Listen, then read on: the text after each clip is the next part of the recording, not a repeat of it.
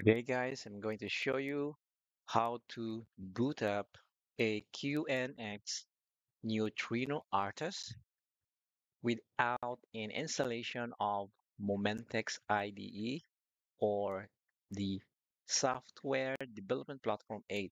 All we have here is just an Ubuntu machine with a properly set up QEMU. First, clone this repository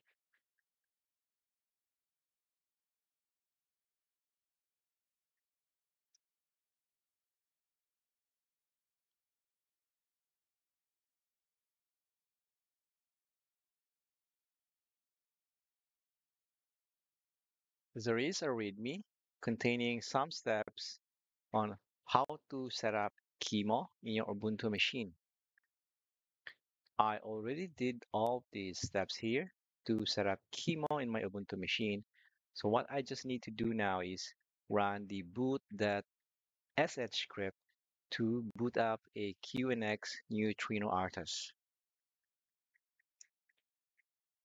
Now the QNX Neutrino RTOS is booting up. Let's give it some time to acquire an IP address.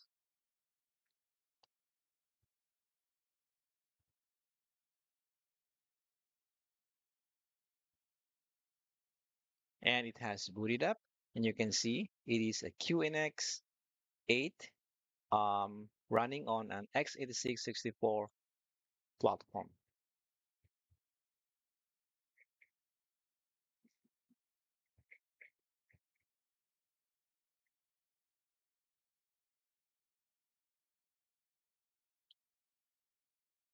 And we can also check its IP address.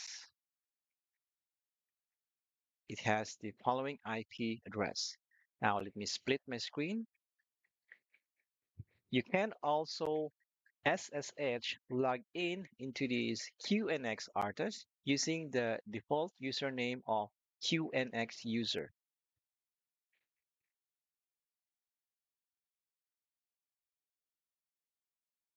And the password is also QNX user.